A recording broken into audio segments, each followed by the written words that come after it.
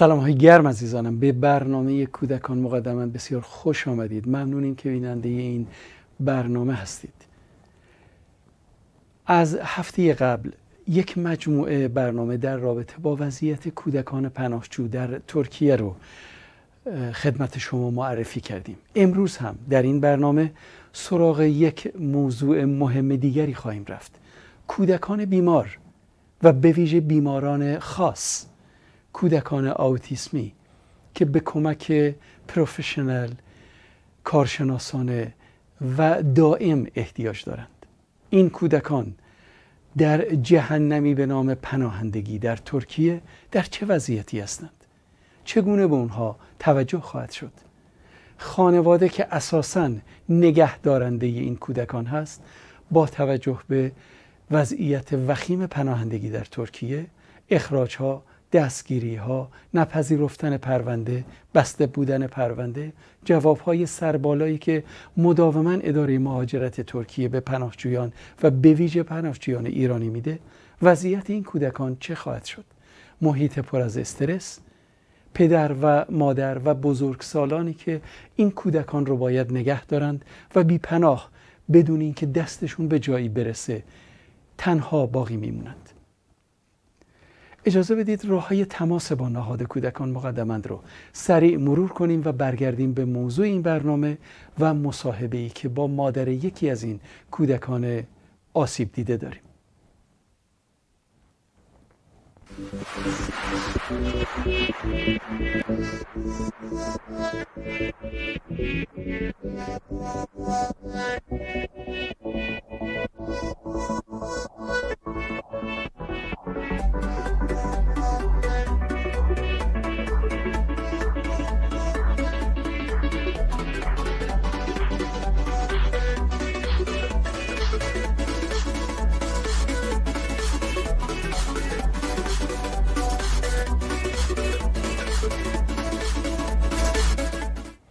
بسیار خوب. راه تماس رو ملاحظه کردید. با همین شماره تلفنی که به اون اشاره می کنم در پایین صفحه موقع پخش و بازپخش برنامه ما در دسترس شما هستیم. ایمیل آدرس هم که در دسترس شما هست. با همین شماره تلفن واتساپ وایبر لاین تلگرام ایمو سیگنال موقع پخش و بازپخش برنامه.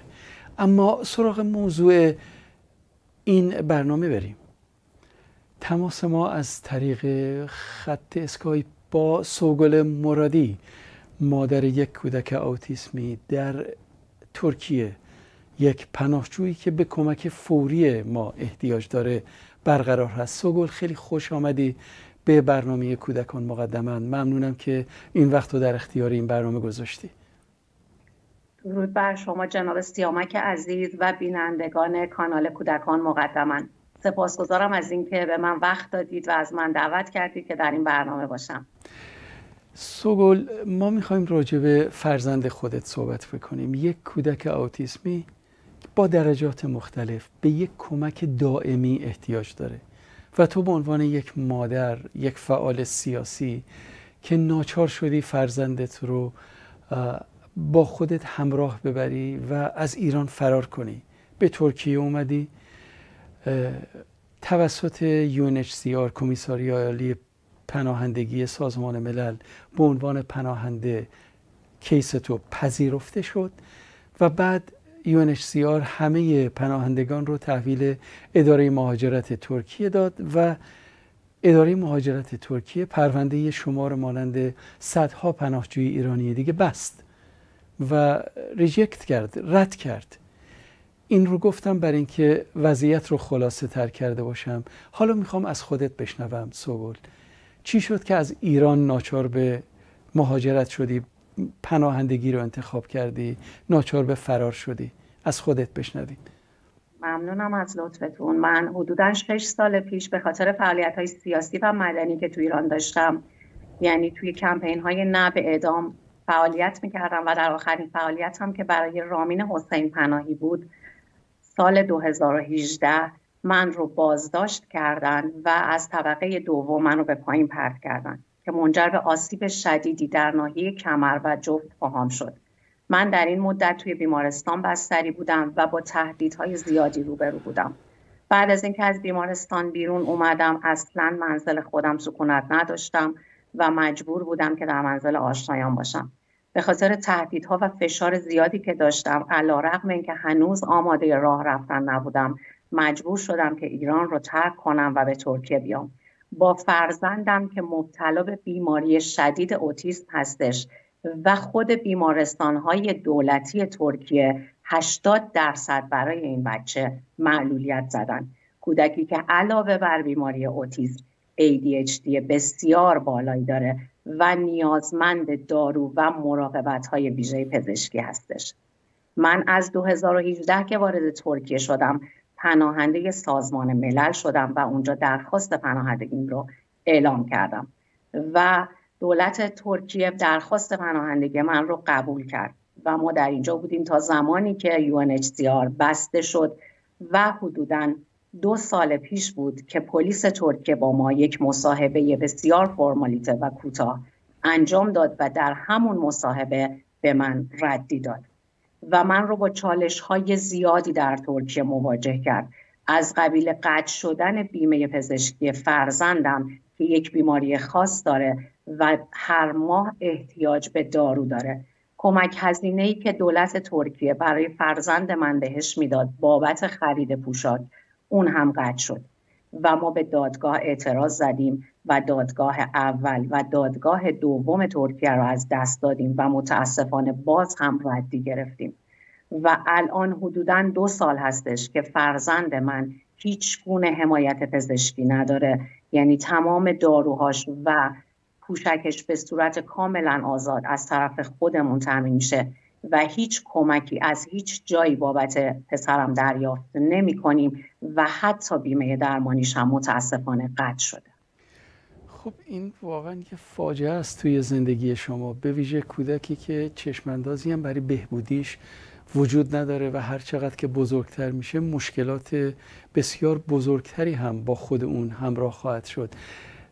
اگر برای خودت اوکی هست سوگل ما می‌خوایم بیشتر راجع به فرزندت بدونیم و نگه داشتن یک کودک با بیماری خاص هم بیش فعالی که خودت به اون اشاره کردی ADHD و همینطور اوتیسم. بیشتر می‌خوام از خودت بشنوم چه می‌کنی و چگونه با این مسافه ها روبرو هستی. بله. خیلی واقعا نگهداری از بچه‌ای که اوتیسم درجه سه داره. گفتم 80 درصد. علاوه بر اوتیسم بیش فعالیش هم هست. واقعا سخته. بچه‌ای که نیازمند به مراقبته. یعنی حتی غذاش رو نمی‌تونه بخوره. حتی از خودش مراقبت نمی‌تونه بکنه. هیچ خطری رو متوجه نیست. یعنی کاملا پسری ایزوله که اگر بیرون درش میاری باید حتما دستش رو بگیری. چون خطر ماشین رو درک نمی‌کنه خطر چاله رو درک نمی‌کنه. ما در و پنجره های خونمون کاملا بسته است چون که بردیا هیچ درکی از ارتفاع نداره. تمام وسایل خونمون قسمت های بالای آشپزخونه قرار داره. هیچ درکی از چاقو تیزی داغی یعنی زندگی واقعا با این بچه ها بسیار سخته. علا رقم اینکه توی شرایطی هستیم که من به عنوان یک مادری که تنها دارم از پسرم مراقبت می‌کنم. البته همسرم هست ولی با توجه به شرایط کاری سخت ترکیه و اینکه ما نیاز داریم که تأمین بشیم همسرم مداوم سر کاره و من به تنهایی دارم از پس مسئولیت هایی که بردیا داره برمیام. و واقعا سخته. یعنی مسئولیتاش توی خونه نگهداریش. بچه ای هستش که ما وقتی وارد ترکیه شدیم بردیا هفت سالش بود الان سیزده سالشه.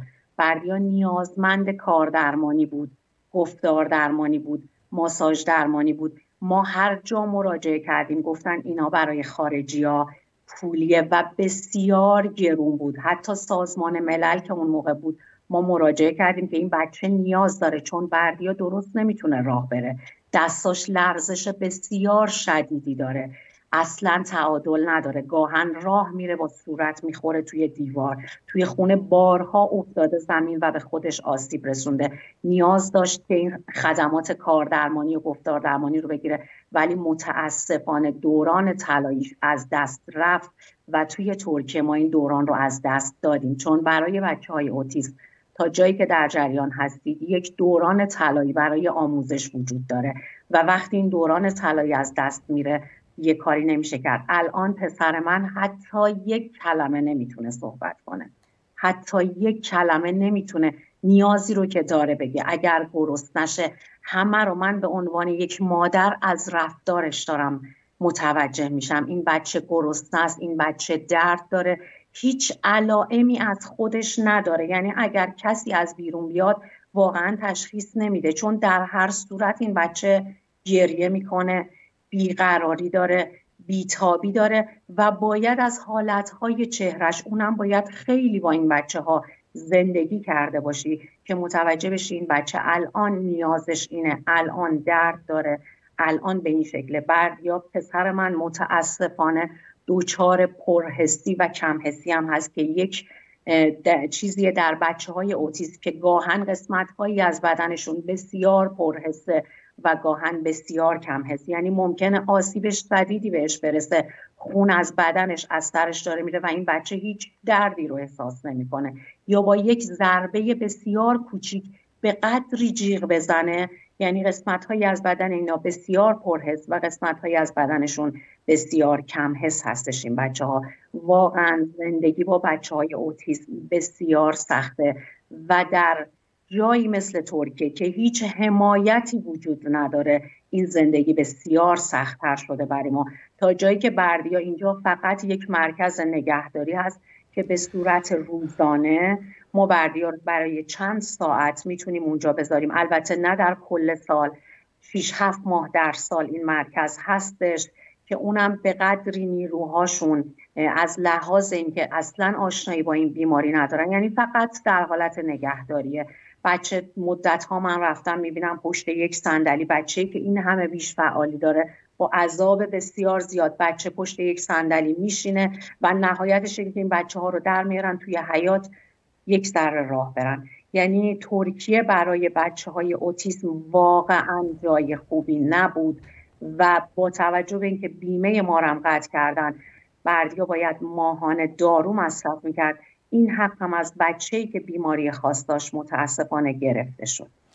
اتفاقا من دقیقا می‌خواستم همین پرسش رو بکنم که الان خود شما به اون اشاره کردید. دارو و درمان و هزینه بسیار سنگینی که قطعا باید داشته باشه باید توسط یک نهاد دولتی تأمین بشه چون اصلا از عهده خانواده حتی اگه شما پناهجو هم نبودید از عهده اون بر نمیمدید و نگهداری از این کودک هم نباید به پدر مادر سپرده بشه بلکه یک نیروی متخصصی در جاهایی که به این کودک کمتر آسیب برسه چون خونه محل زندگی و مناسباتی نیست که این کودکان خاص احتیاج دارن.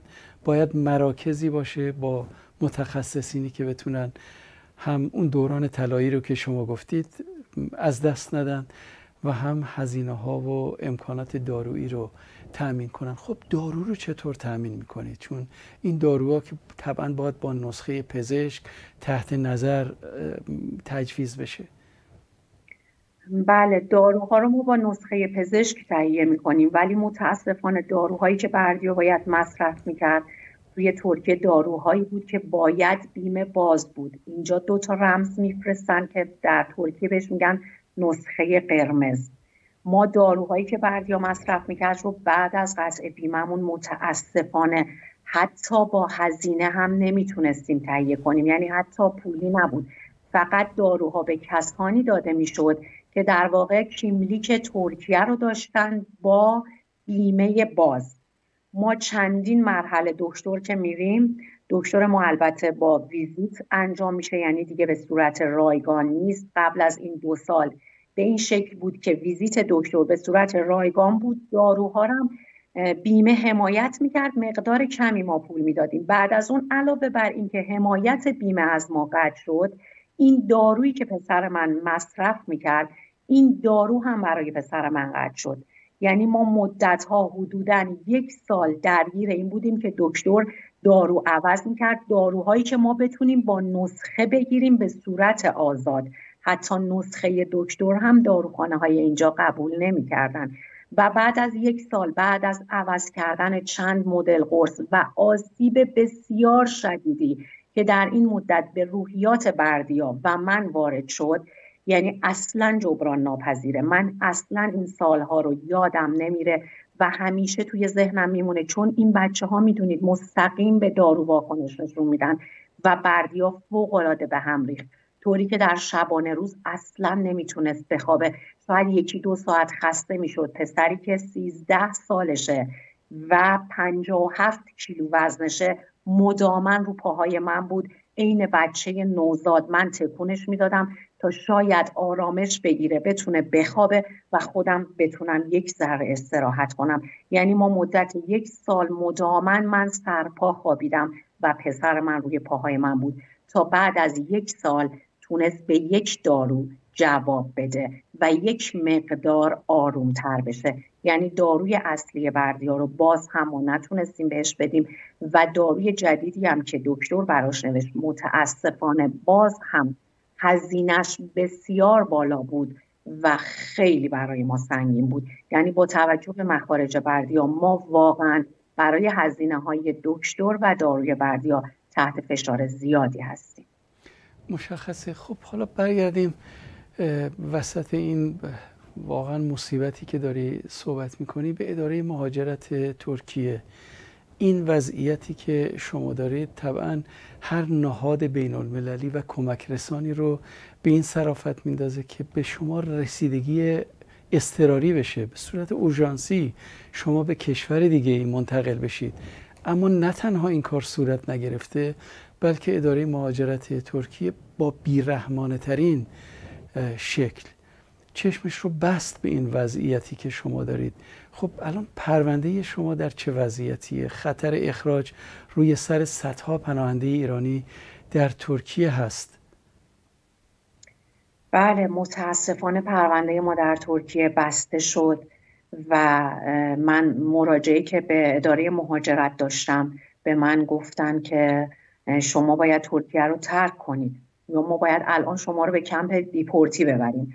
ولی با توجه به اینکه هم خودتون دچار آسیب هستید و rapor پزشکی ترکیه رو دارید و هم پسرتون بیماری خاص داره این کار از نظر ما انسانی نیست و ما این کار رو نمی کنیم. ولی بهتون مهلت میدیم که خاک ترکیه رو ترک کنید. اگر نه ما شما رو به کمپ دیپورتی منتقل می‌کنیم و از اونجا به ایران. متاسفانه من شرایط بسیار بدی دارم. با این شرایط اصلا بیرون نمی‌تونم درام چون هر لحظه میترسم به من. چون این رو گفتن. گفتن ما این کار رو نمی کنیم ولی اگر پلیس ترکیه jandarma یا هر نهاد امنیتی دیگه ای شما رو در بیرون kimlik تون رو کنترل کنه به این شرایطتون نگاه نمی‌کنه و شما رو به کمپ دیپورتی میفرسته. متاسفانه شرایط پسر من طوری نیست که در کمپ دیپورتی بتونه دووم بیاره. و من شرایطم طوری نیست که بتونم به ایران برگردم و با خطرات بسیاری مواجه هستم. همینطوری که قبل از اینکه از ایران بیام این اتفاق بسیار ناگوار برای من افتاده که هنوز خاطرش مدتها در ذهنم تغییری نکرده و من رو آزار میده. الانم برگشتن به ایران برای من خیلی بدتر از اینه و شرایط خودم و پسرم و همسرم واقعا الان دچار خطر جدی و در معرض دیپورت هستیم. خب با این اوصاف که داری میگی یه زندگی پر از استرس برای خودت و همسرت هست. یک زندگی پرخطر برای فرزندت هست. و در این حال اگر به جلو نگاه کنی انگار داری به یه ته یه دره نگاه می‌کنی. اگر من چنین توصیفی رو درست گفته باشم می‌خوام بیشتر از این موضوع به بینندگان ما بگی. با چه وضعیتی روبرو هستی به عنوان یک مادره که به تنهایی باید از پس یک کودک بیمار و بیماری خاص بر بیاد؟ بله متاسفانه همین توصیفی که شما کردید دقیقا آینده روبرومه که هیچ چیزی رو من درش نمی‌بینم. اما به عنوان مادری که باید ادامه بدم خیلی قوی دارم ادامه میدم. ولی در واقع روبروم چیزی نیستش. یعنی من در حال حاضر آینده برای خودم و بردیا پیش روم نمی‌بینم و به عنوان یک مادر می‌خوام که صدای پناهنده ها برسه جایی که سازمان ملل وارد عمل بشه. چون من زمانی که به ترکیه وارد شدم خودم رو پناهنده سازمان ملل انجام رفتم اونجا ثبت نام انجام دادم. من خودم رو دست دولت ترکیه ندادم که الان به من بگه شما راحت می‌تونید برگردید کشورتون. که من در اداره مهاجرت گفتم من نمی‌تونم. من مدارک بازداشت ایرانم هست مدارک بیمارستان ایرانم هست مدارکی هستش که شما بیمارستان های خودشون تایید کردن. اتفاقی که برای من افتاده رو این مدارک هستش. شما نمی‌تونید به من برگه دیپورت بدید. نمی‌تونید که به راحتی برگشتن به من گفتن که شما می‌تونید پاسپورت بگیرید و به یک کشور دیگه برید. من در حال حاضر با یک بچه که حتی توی ترکیه من ده دقیقه نمی‌تونم این بچه رو بیرون درارم به قدری شرایطش سخته. این بچه درست راه نمیره. ما حتی گاهن بردیا رو بیرون در میاریم. اگر تنها باشیم بردیا رو روی ویلچر می‌ذاریم. چون اگر با همسرم باشم دوتایی دستش رو می‌گیریم که آسیبی به خودش نه. چون مدامن زور این بچه ها بسیار زیاده. مدامن می‌خواد خودش رو پرت کنه توی خیابون. مدامن می‌خواد خودش رو سرش رو بکوبه به دیوار. ما اگر تنها باشیم این بچه باید روی ویلچر بشینه. ما این بچه رو بتونیم راه ببریم. هیچ جایی نمی‌تونیم ببریمش. یعنی حتی داخل این شهرمون وای میستیم ساعتهایی که پارک خلوته که بتونه یک ذره راه بره. شبهایی که خیابون خلوت ما بتونیم بردیا رو یک کمی پیاده روی ببریم که بتونیم از این حالت ADHDش یه مقداری کم کنیم. ما بچه ای رو که اینجا نمی‌تونیم بیرون درش بیاریم چطوری من می‌تونم با این سن که 13 سالشه پاسپورت بگیرم و به راحتی بچم رو از این کشور خارج کنم؟ متاسفانه شرایط بردیا خیلی وحشتناک و خیلی بدتر از اون چیزی هستش که من الان دارم میگم. یعنی من میگم باید با این بچه زندگی کرد تا متوجه شد شرایط بچه‌ای که میگیم اوتیسم یعنی چی. یعنی شرایطی که تو حتی آرامش نداری. باورتون نمیشه. من حتی شبها پای بردیا رو با یک شالی به پای خودم میبندم که اگر تکون خورد احیانا خوابم بود متوجه بشم که این بچه بلند نشه. آسیبی به خودش بزنه. در این حد شرایط زندگی برای من و پدرش سخت و طاقت فرساست. متوجه هستم. خب سوگل ما کم کم به پایان این گفتگو نزدیک میشیم. آیا نباید برای بردیا که تنها کودک بیمار خاص در ترکیه نیست قطعا شما خانواده های دیگری رو می‌شناسید که با همین مشکلات روبرو هستن. معمولا این خانواده ها همدیگر رو زودتر پیدا می‌کنن. آیا نباید به یک کارزار جهانی فکر کرد؟ برای حمایت از این کودکان. این رفتار با کودکان توسط اداره مهاجرت ترکیه به شدت ضد کودک ستیزانه است. خلاصه بگم دنبال کلمات نگردیم. این کودک ستیزانه است. و به نوعی جنایت علیه کودکان محسوب میشه. نباید با یک کارزار وسیع بین المللی توجه افکار عمومی به این مسئله رو جلب کرد و راه نجات و راه خروجی پیدا کرد. می‌خوام نظرت راجع به این مسئله بدونم و حتما بینندگان ما در تماس خواهند بود راه های دیگری به ما پیشنهاد خواهند کرد همدردی خواهند کرد کمک خواهند کرد بدون تردید. اما دوست دارم در پایان این گفتگو بیشتر راجع به این کارزار از خودت بشنوم. بله قطعا که نیاز هستش چون متاسفانه در این زمینه بسیار کم کار شده. در زمینه کودکان اوتیسم که این کودکان بسیار زیاد شدن این روزا تعدادشون بسیار زیاده. ولی توی ایران متاسفانه خانواده ها اونها رو زندانی کردن. اجازه بیرون در اومدن نمیدن. چرا؟ چون شرایط ایران بسیار سخته. اجازه بیرون اومدن از خونه بچه ها ندارن. اگر مدرسه برای بچه ها باشه این مدرسه ها یا هزینه هاش بالاست یا انقدر بدرفتاری با بچه ها میشه که اصلا خانواده ها ترجیح میدن که این بچه ها رو در کنج خونه نگه دارن و کمتر بهشون آسیب برسه. این کارزار به نظر من باید باشه باید حمایت بشه. از توی جامعه بین الملل از کسانی که در زمینه کودکان کار می‌کنن از کسانی که در این زمینه تلاش می‌کنن از روانشناسان یک طوری بشه که بچه های اوتیزم بیشتر رنگ بشن که جامعه بیشتر بهشون اهمیت بده. برای مایی که پناهنده هستیم اینجا حداقل کشورها در مورد این بچه ها یک مقدار ملایمت به خرج بدن. بچه ای که هفت سال وارد اینجا شده هفت ساله بوده و الان سیزده سال است. اگر در کشور دیگه بود قطعا پیشرفت های خیلی بیشتری داشت. اگر آموزش می‌دید قطعا این بچه پیشرفت های بیشتری داشت. این بچه بدون آموزش در اینجا موند و شرایطش روز به روز بدتر شد. بچه های اوتیسم با بزرگ شدن سنشون متاسفانه مشکلاتشون بزرگتر میشه و متاسفانه خانواده ها بسیار ضعیفتر میشن. چون بسیار فعالیت زیادی می‌خواد کمک کردن به این بچه ها غذا دادنشون کمک به دستشویی کردنشون. خیلی از این بچه ها هنوز از پوشک استفاده می‌کنن. عین پسر من. هنوز خودشون دستشویی نمی‌تونن انجام بدن و اینها نیازمند یک مراقبت های بیشتر از خانواده هستند و نیازمند اینن که جامعه بین الملل و جامعه جهانی حداقل در مورد کودکان با این بیماری های خاص که بسیار فشار به خانواده ها میاره یک حمایتی داشته باشه و مراکزی باشه که حداقل آموزش برای این کودکان فراهم بشه و این فشار مالی که روی خانواده های اوتیسم هست یک مقداری کمتر بشه. بسیار ممنونم و همینجا اجازه بده تا خودت هستی اعلام کنیم که ما از همین حالا این کارزار رو کلید می‌زنیم.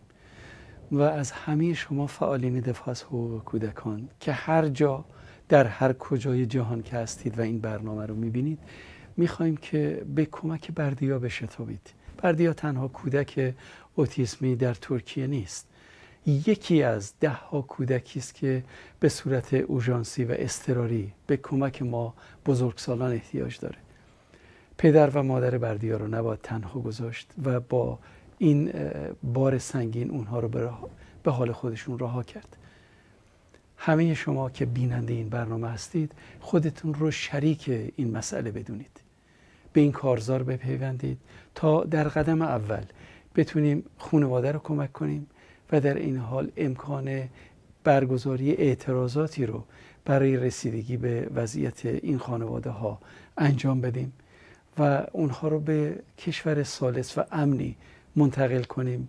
گرچه این انتقال حتی مشکلات اونها رو خیلی بهبود نخواهد داد ولی کاهش خواهد داد و حداقل این استرس اخراج دیپورت کمپ دیپورتی و غیره رو از روی خانواده برمیداره. سوگل اگر به عنوان نکته آخر صحبتی داری چند کمتر از یک دقیقه فرصت هست. ممنونم ازتون. خیلی سپاسگزارم از اینکه منو به این برنامه دعوت کردید و ممنونم از وقتی که برای من گذاشتید. امیدوارم این برنامه یک پله نجاتی برای تمام کودکان اوتیسم تمام کودکان خاص این دنیا و تمام کودکان سرزمینم بشه که اونها به رفاه و آزادی برسن. باز هم ازتون سپاسگزارم. از تمام بینندگان و کسانی که حرفهای من رو شنیدن سپاسگزارم که وقت گذاشتید برای من. مرسی. ما هم از جانب خودمون و همه بینندگانمون می‌خوایم که بردیای عزیز رو بغل کنی ببوسی و بگی که ما همه به فکرش هستیم. ممنونم. سپاسگزارم. روزتون بخیر. عزیزانم به پایان این گفتگو رسیدیم. خانواده بردیا سوگل مرادی رو نباید تنها بگذاریم. این رو فراموش نکنید. این وظیفه انسانی ماست. به اتفاق همکارم جمیل فرزان به پایان این برنامه رسیدیم. بهترین ها رو براتون آرزو می‌کنم. این شماره تلفن ماست. همین حالا با ما تماس بگیرید.